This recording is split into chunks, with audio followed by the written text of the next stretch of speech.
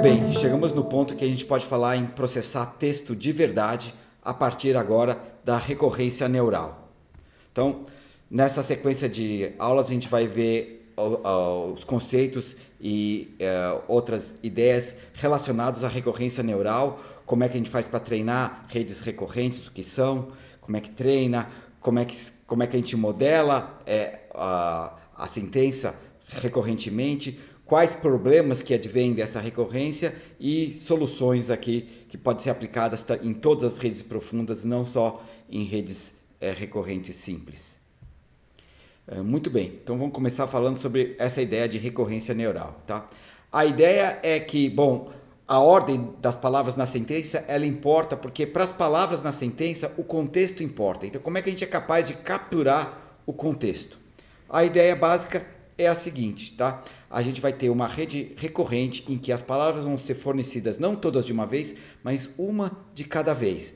E além das palavras, nós vamos ter uma recorrência, esse laço aqui, que é, tem uma saída que também serve de entrada, que a gente vai selecionar, vai ser uma espécie de memória em que a gente vai se lembrar daquilo que a gente viu e dada a palavra nova, a gente vai formar uma nova memória e ao mesmo tempo para cada palavra que a gente vai é, lendo, uma saída pode ser produzida.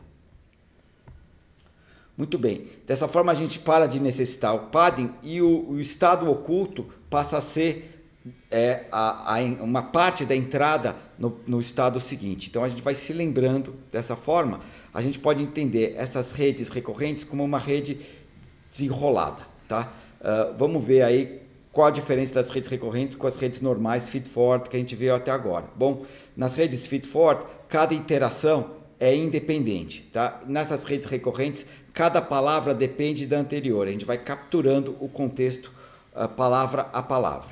Tá?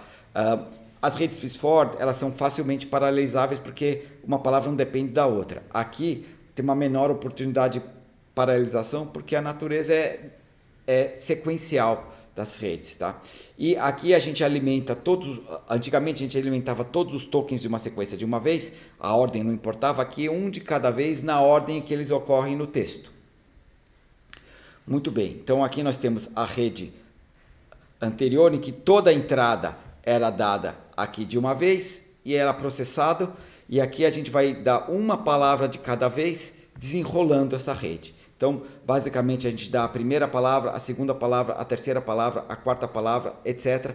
A saída, nós temos a saída em preto, que é a saída, e uma saída oculta, que é usada como entrada na próxima, eh, no próximo elemento da sequência. Então, essa é a forma de entender uma rede é, recorrente desenrolada. Sendo que, quando a gente entende ela de forma desenrolada, a gente precisa entender que a rede, os pesos dela são idênticos em cada uma dessas etapas. Não é que nós temos várias etapas diferentes, nós temos várias etapas idênticas entre si.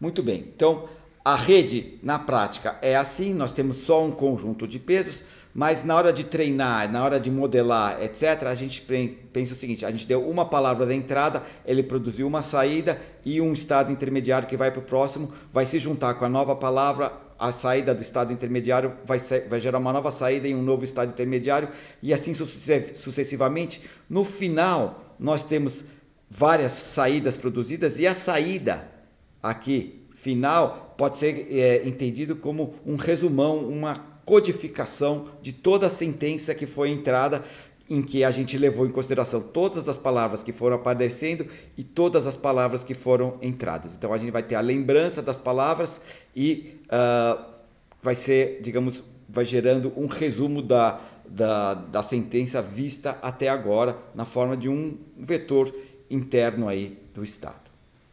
E com isso a gente termina aqui a apresentação das redes recorrentes.